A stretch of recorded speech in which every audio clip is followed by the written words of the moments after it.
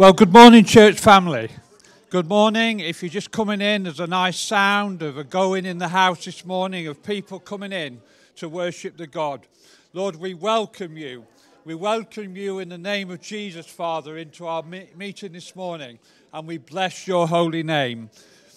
You know, you might have had a challenging week this week, but this is the place for you to be in. God is here to meet with you. This is the place for you to be in.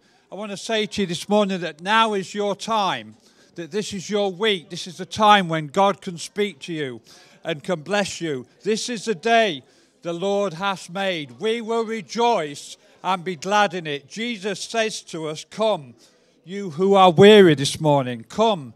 If you need healing, come. If your heart aches this morning, come. God is here waiting to meet you. So we welcome you in the name of Jesus. I believe that there's a fresh opportunity for you this morning as we come into the house of God, as you come in to worship Jesus, as you come in to praise Him. He's here to meet you. Our God is here for salvation.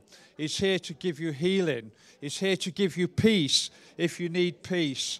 You know, I look out the back this morning and you walk past the foyer, and there's 55 parcels to go to people in need love in a box. So I think we've done well. Let's give ourselves a clap this, morning. 55 parcels for people that are who in need. And we remember people that have died for us through the past wars this morning as well. You know, how they've given their lives so that we may live, and we give you. But you know, most of all, I thank Jesus because he died for us that we may live. He died for us that we may have a better life.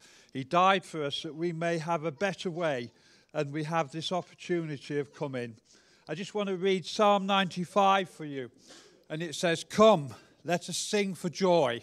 So when we start singing this morning, let's sing for joy to the Lord. Let us shout aloud to the rock of our salvation. I think, thank the Lord that He, he is our rock somebody we can trust and lean upon, stand upon the rock. We might be standing on sand. The sand will melt away and drift. Have you ever stood on the beach and the waves come in and you feel like you're sinking? But we can trust in our God. We can stand upon the rock. Let us come before Him with thanksgiving and extol Him with music and song. For the Lord is a great God, the great King above all gods. In his hands are the depths of the earth, and the mountain peaks belong to him. The sea is his, the earth is his, the mountains belong to him. Come, let us bow down in worship before our God. He is our God. So I encourage you to stand and praise as we come to praise Jesus. Listen for the voice of God as our guest speaker preaches this morning and uh, listen and look and be ready to receive all the Lord has for you. Amen. Amen.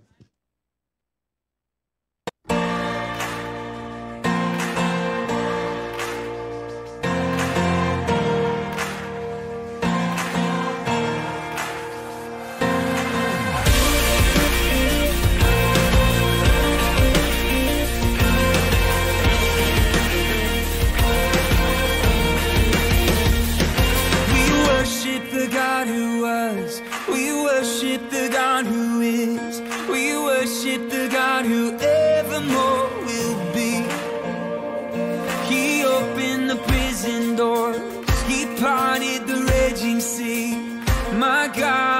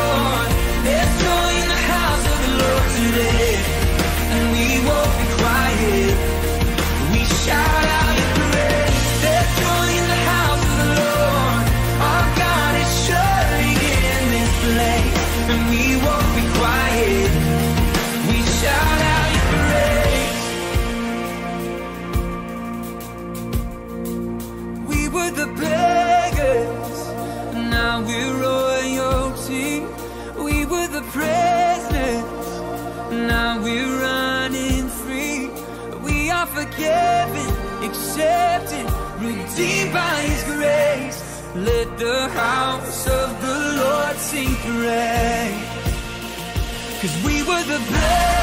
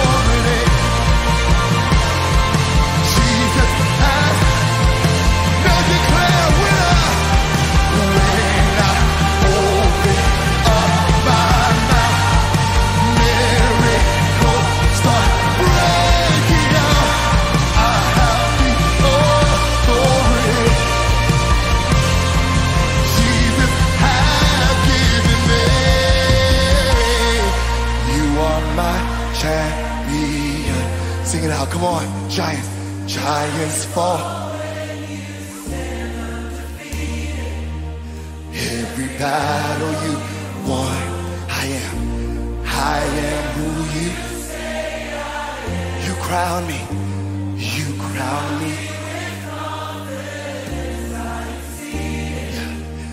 In the heavenly place, by the power, come on, by the power of your name, I am seen in heaven, in the undefeated, with the one who has.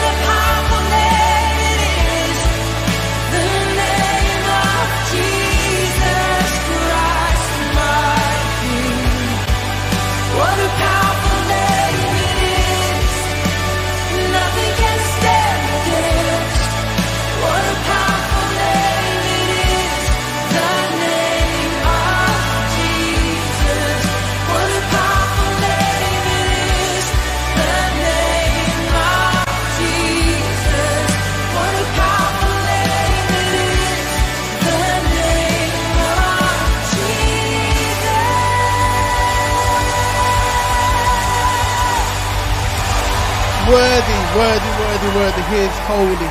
Jesus, we thank you, Lord God. We thank you for your presence amongst us this morning. Lord, we thank you for your goodness. We thank you for your graciousness towards each and every one of us. Lord, we thank you so much, Lord, that you are for us and not against us, Lord God, and that you are with us in every step of our journey. Jesus, we love you. You know, I just want to point your attention to Philippians chapter 4, verse 8. This is Paul's letter to the church in Philippi. Here it writes Finally, brothers and sisters, whatever is true, whatever is noble, whatever is right, whatever is pure, whatever is lovely, whatever is admirable, if anything is excellent, everyone say excellent, or praiseworthy. Praiseworthy? Think about such things.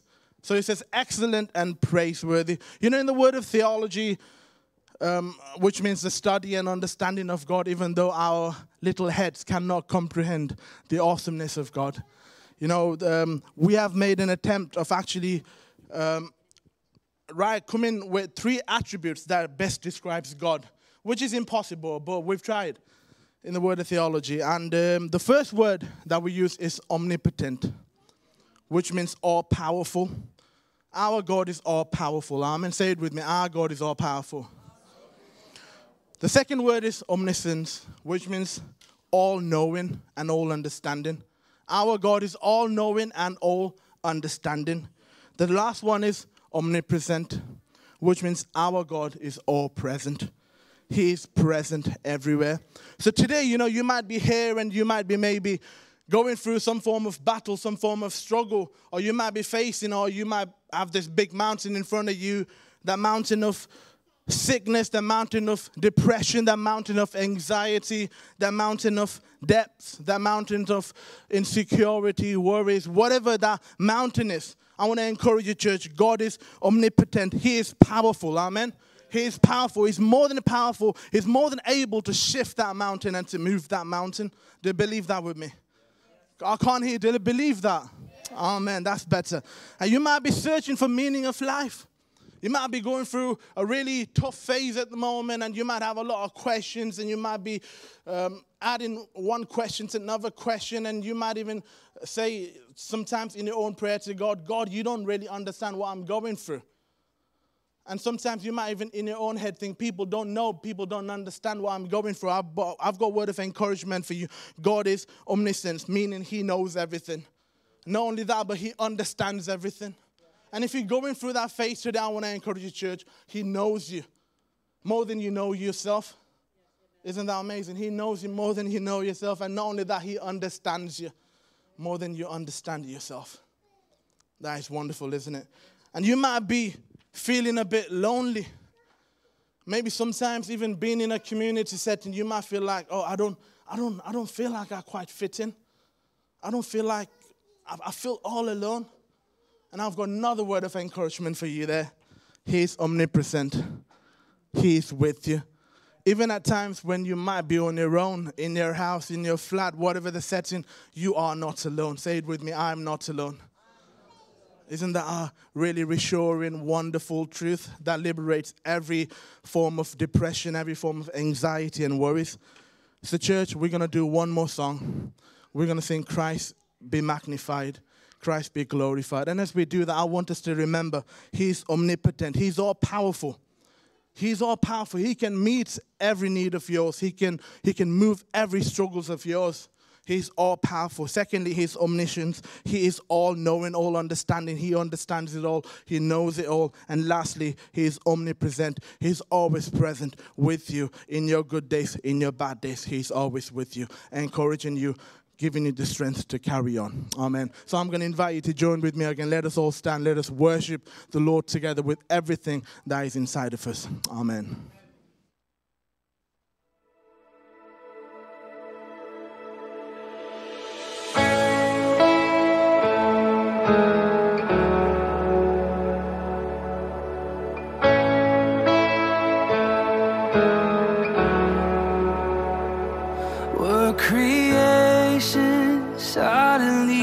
Articulate with a thousand tongues to lift one cry? Then from north to south and east to west, we'd hear Christ be magnified.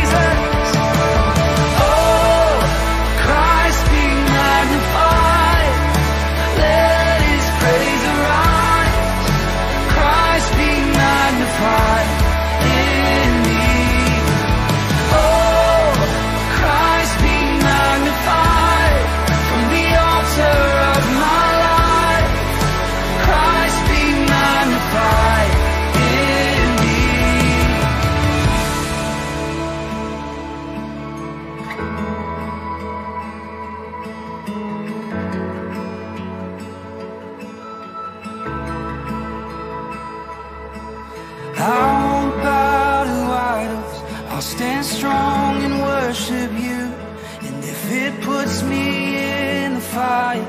I'll rejoice cause you're there too.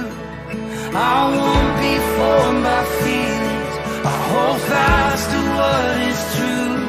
If the cross brings transformation Then I'll be crucified with you. Cause death is just the doorway Into resurrection life. And If I join you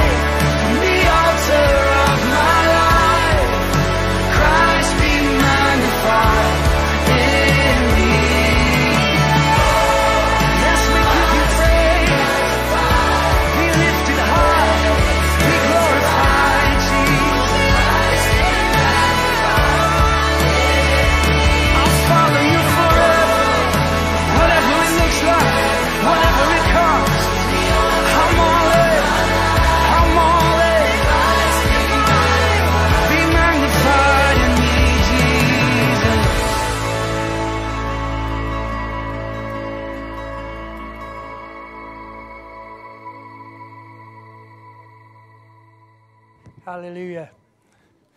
Christ be magnified in me. At the moment, this is my favourite song. When we went to MIT recently, I had to prepare a sermon for the national leadership team, and my sermon was going to be on shine, Christ be magnified in me. And what amazes me about that is that Daniel, what did he say? That God knows everything about me, God knows me, and yet God still loves me. You don't know everything about me, but God does, and God still loves me. And I find that amazing. Right? Doesn't matter where I've come from, what I'm doing, what I've done, God loves me right? It's just a one size fits all. You know, I've got to think about socks and things like that, the one size fits all. But, you know, God is a one size that fits all. It's an open invitation. Everybody's welcome. Everybody is called into the kingdom of God, no matter what or where you've come from. Amen. Christ be magnified in our lives today and this week. Now, we're going to, we've not got our official children's work up and running yet, but we are going to release the children. You know, we just want to get to that point where we release them as they're going. It's not manned at the moment. If there's a crèche facility in there, but it's not manned, you want to go in, the service is being streamed into that room. So if you feel you want to take your children into there, uh, there will be a couple of people in there. Um, but really, it's just to help um, facilitate. I don't mind children. They don't ever disturb me uh, if they're moving about or playing with toys. But there is a facility next door if that's what you choose to want to do this morning. You know, we've been working through Acts. Um, I'm going to conclude Acts this week with talking about Acts 28.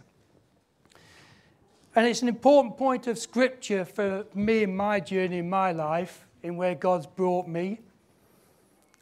But I think it's important for people in this room this morning to understand that it's important we shake some of the life away from us this morning that we might live and grow and be all that God's called us to be. I'm going to read 28, 1 to 10, but then I'll give some context of where we got to that point and just trying to bring out what I believe God is saying to you and me this morning. All right?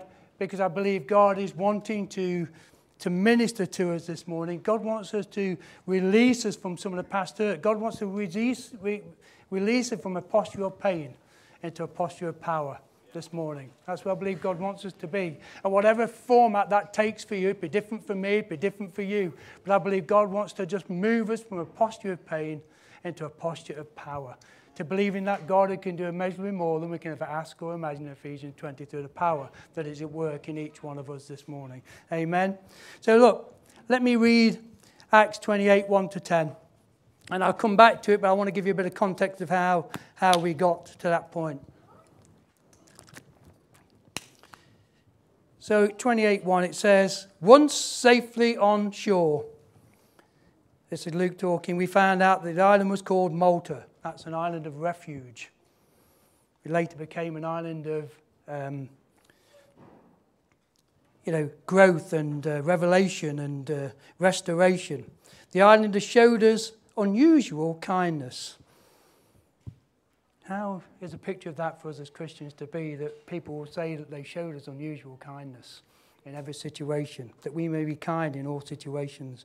They built a fire and welcomed us all because it was raining and cold. Paul gathered a pile of brushwood. I love it. The Paul's chucking himself in, he's getting involved, he's getting in.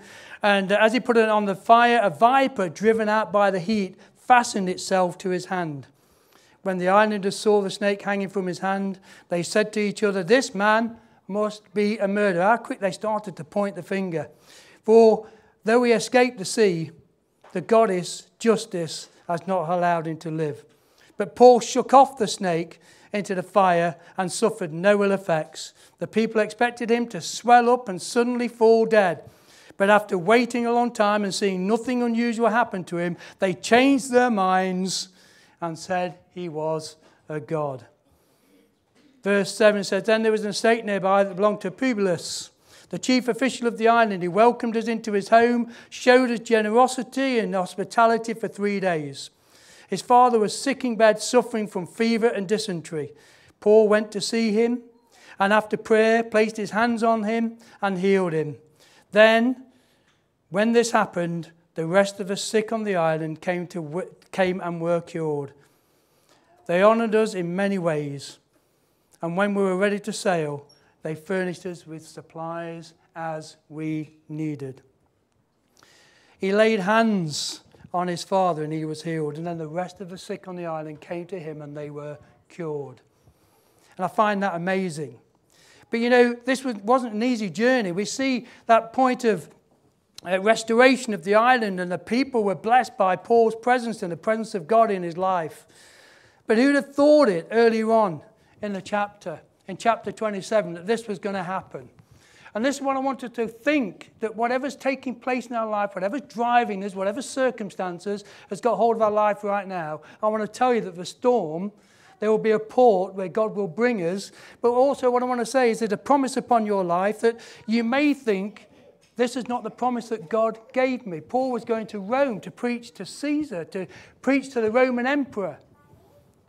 And suddenly the storm took him to Malta if I was titling this sermon, which I don't do very often, but the detour we didn't expect, miracles can still take place. But it doesn't mean that the promise is not the correct promise for your life and my life. Because we all know they still ended up in Rome after they'd weathered there for three months. They got a ship and they sailed to Rome, and Paul, then the rest is history, as they say. But Paul made it to Rome because God made him a promise. And there's promises in your life that I want you to keep hold of this morning that despite the circumstances that are driving you, despite the things that are holding you back, despite the snake and the viper on your hand, it's got no venom and it's got no teeth because Jesus paid the price for you and me. Jesus took the venom, Jesus took the sting upon the cross this morning. And I just find it a great story that they were detoured. And, you know, Paul got to be where God wanted him to be. And I want to encourage you this morning that God will get you to where God needs you to be. God will put you in that place. God will put you in that shop, in that village street, in that um, community centre, in that gym where God wants you to be to be what you're carrying, the gift of God in your life, to preach and to talk to others and bring them on in the miracle of salvation that we all know is a great thing. Now, they've been at, they've been at sea how many days? See, 14. 14 days, because we're going right back to chapter 27 now, sorry for the context. They've been at sea for 14 days. They couldn't navigate because it says in 27:20 when neither sun nor stars appeared for many days and the storms continued raging, we finally gave up all hope of being saved. There was 276 people on that ship. I don't know how many of those were prisoners. Uh, di- different scholars and different theologians have a different opinion of how many that was, but I'm going to go right in the middle and say probably 30 prisoners. The rest were either crew or passengers on that ship. But they finally gave up all hope. Well, the first point I say this morning don't give up all hope. Because there's hope for you and me in Jesus Christ. And whether you've been on the journey a long time, whether it's a first step on the journey this morning, whether you're midway in the, in, into the uh, journey, I want you, we know that hope that Christ has for you and me. Don't give up hope this morning. Many of us can perhaps relate to these circumstances, these situations that are happening. You know, I hate, I mean, I can deal with stuff. But it's when I don't feel in control of it that I start to get anxious because I want to be in control. I don't want to be drifting. I, I want to see the stars. I want to see God's vision. But you know, I got the, I got the point when I was preparing this. God says, Well, you, you might not see me, but I'm still there. There's just a cloud. And I'm going to break through. But still trust in me. And in the storm, they had to trust in God. And luckily, they had Paul with them because you know, in, in chapter 27, verse 22, after his, you should have listened to me in the first Kate speech, because he told him not to sail, didn't he, in the first place? So he says, after that, he said this, but I urge you to keep your courage, because not one of you will be lost, only the ship will be destroyed. Not one of you will be lost, only the ship will be destroyed. Paul, in the midst of all this, is saying, Take heart. And I believe this morning our message from God that the power of the Spirit is to take heart. Have hope. Have courage. Do not be afraid. I don't know what the ship is to you, spiritually speaking, but he's saying it's only the ship that will be lost. And what did he do for Paul? They provided another ship. But this particular point, he had to be on this ship, in this place, took a detour that Paul didn't expect, had a promise from God, and God saved him, plus graciously saved 276 people with him in a storm that should have taken the ship and everybody's life on board that ship.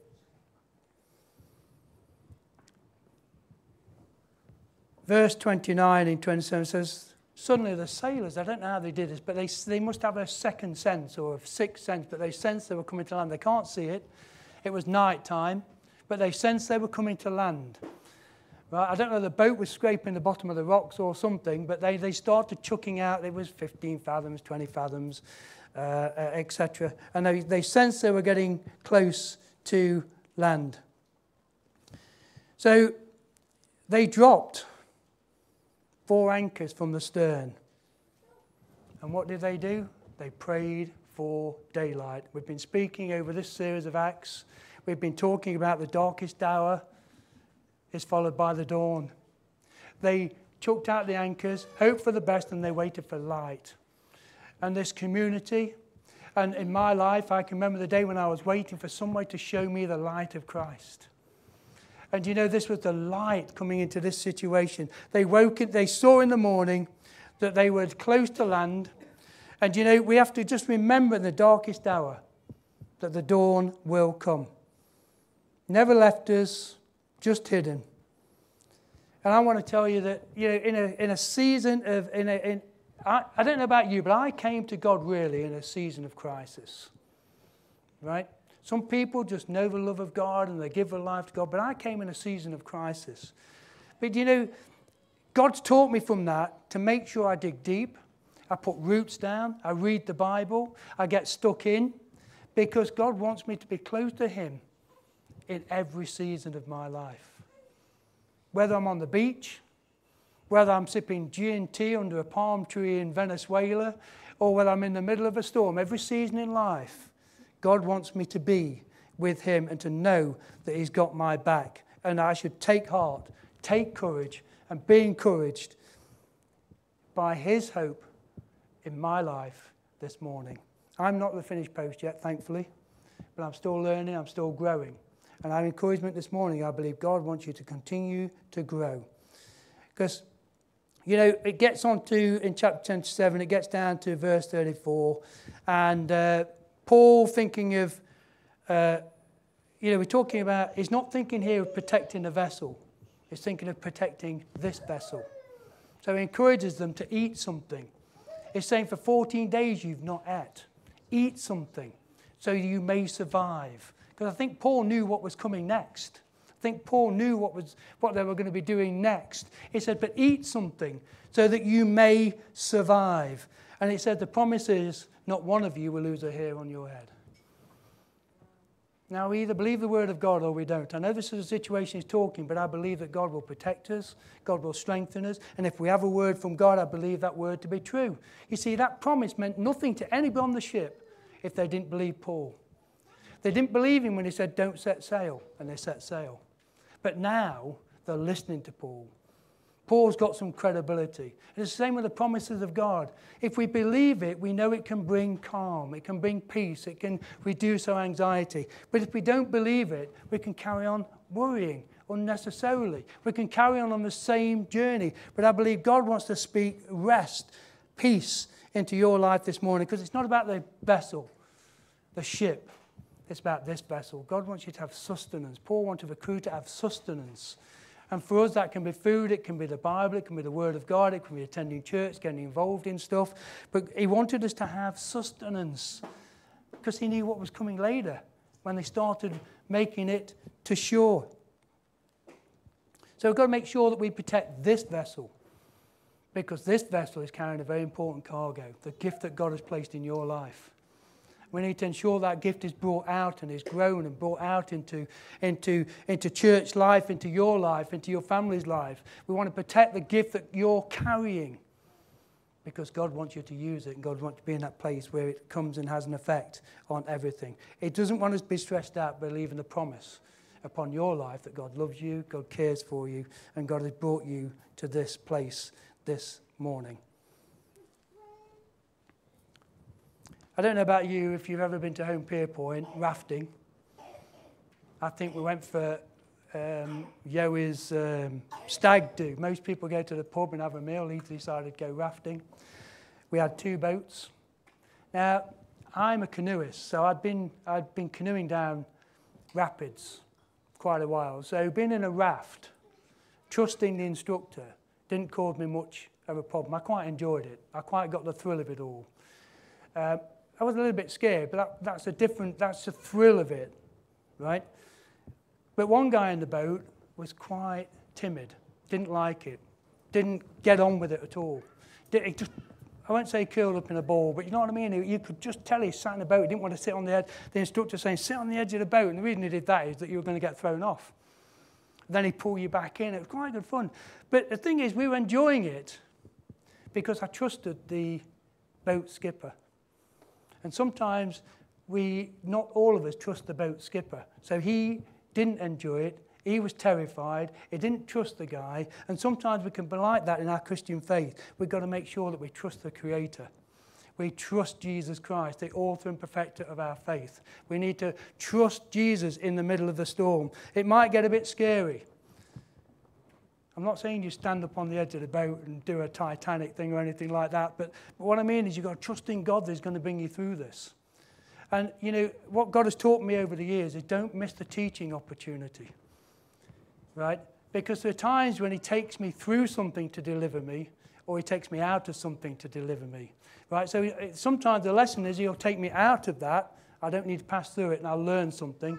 But very often I go through something in order to build character, in order to build faith, in order to build trust. It's not comfortable. I wish there was a different way, but generally it's because I'm on a detour in my life, a decision I've made, and I'm just in a place where God's just got to say, okay, I, we, we're okay with this, I can use this.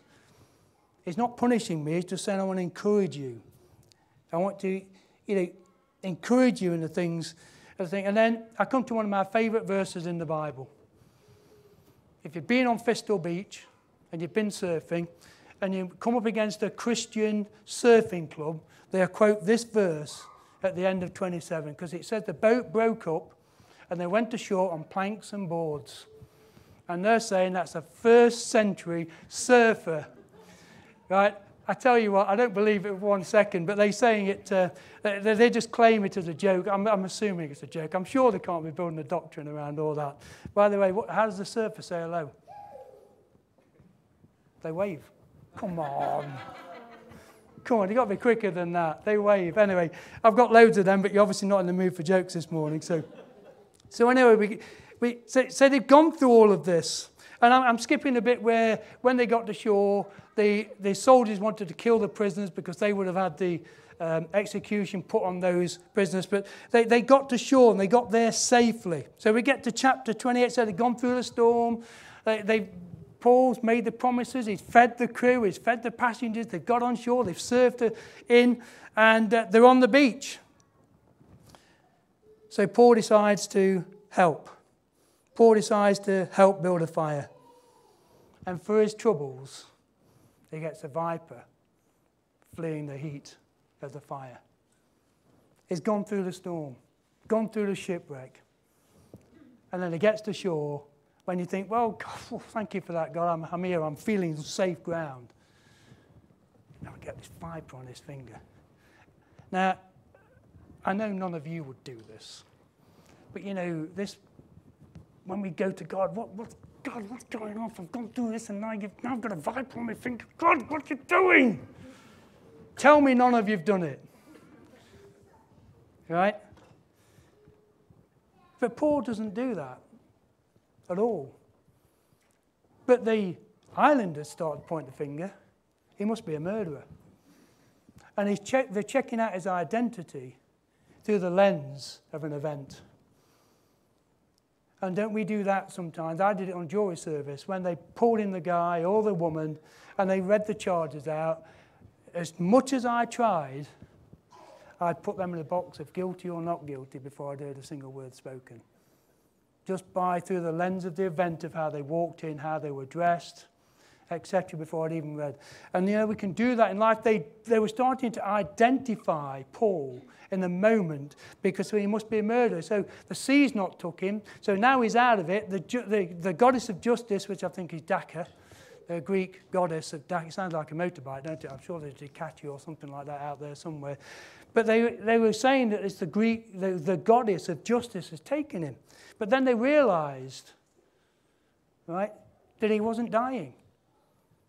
He wasn't swelling up, he wasn't falling down dead.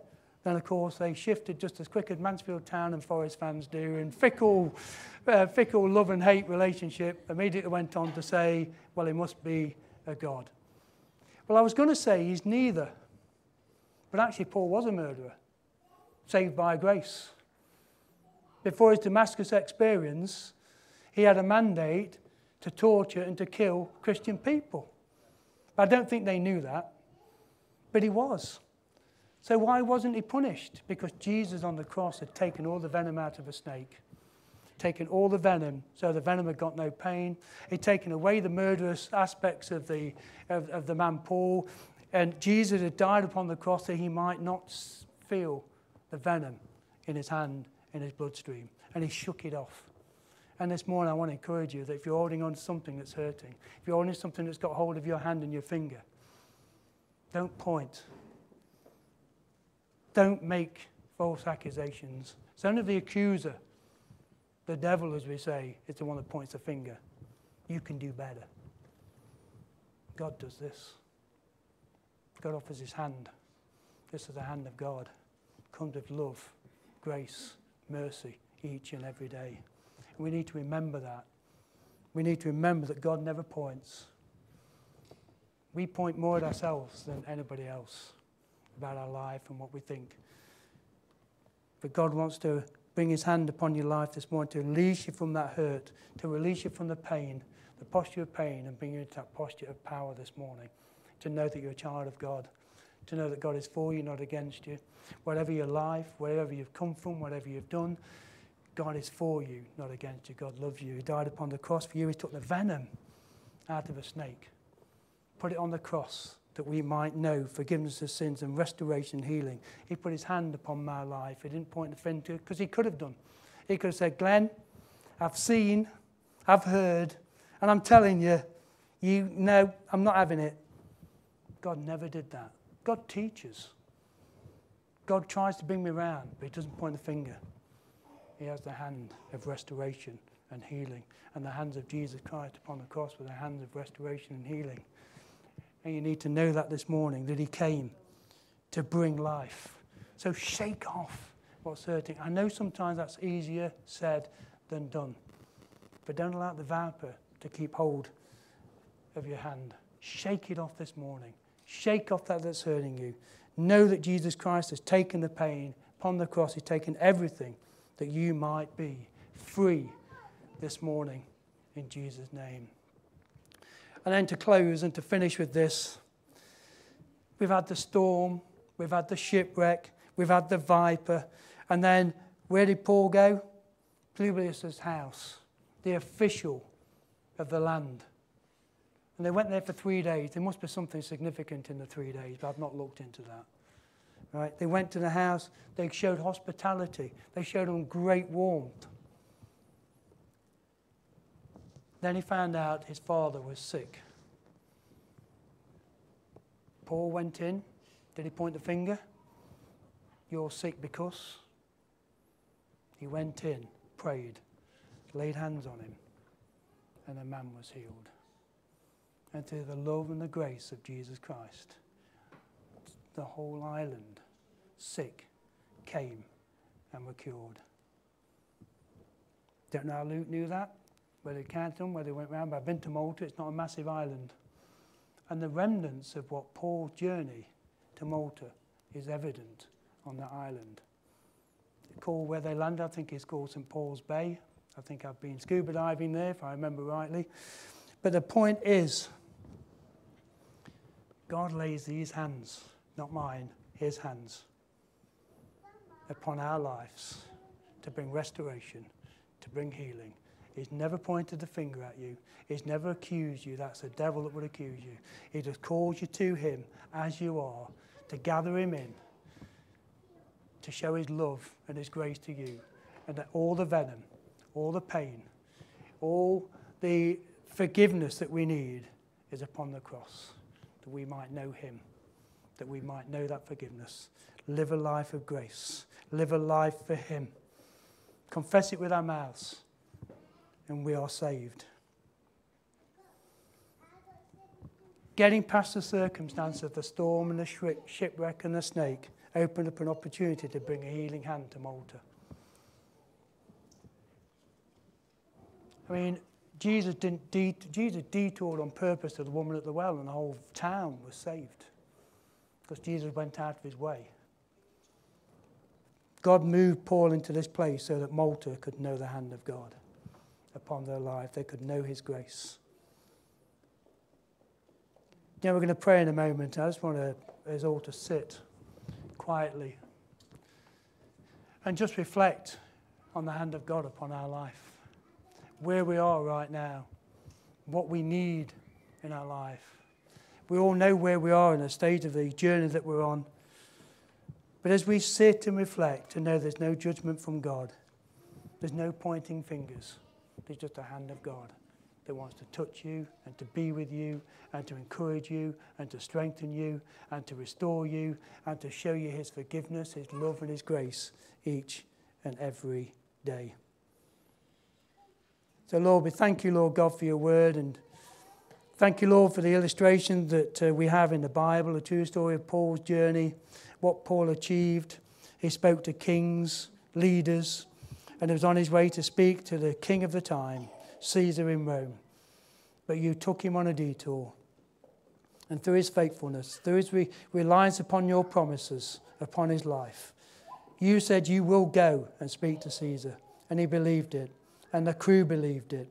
Lord, I believe this morning that you're here to save us and to set us free, to set us on a journey, not to oppress us, not to push us down, but to show us that love that we might be all that we've been created to be, to help us to live eh, not in the shadow, but in the light of Jesus Christ, that we might know your love and know your grace this morning.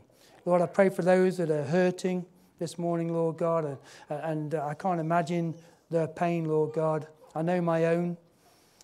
But I pray that you'll speak to them through the power of your Spirit, Lord God, to help them to shake it off, to move from that posture of pain into a posture of power, that they might know that they're loved and their body's been touched by your Spirit, your healing Spirit, that they might know they're loved by you, that they are full of the power, the kingdom of God this morning, that they may know Jesus Christ as their Lord and Savior in every area of their lives, 24 hours a day, seven days a week. In Jesus' name, we pray for your healing spirit, your hand to fall. In Jesus' name, amen.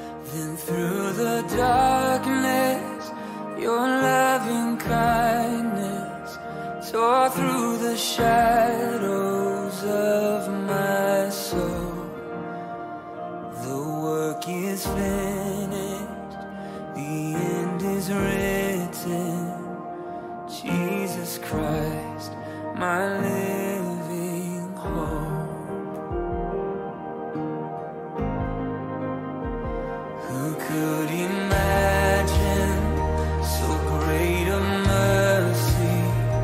What heart could fathom such boundless grace? The God of ages stepped down from glory to wear my sin and bear my shame. The cross has spoken. I am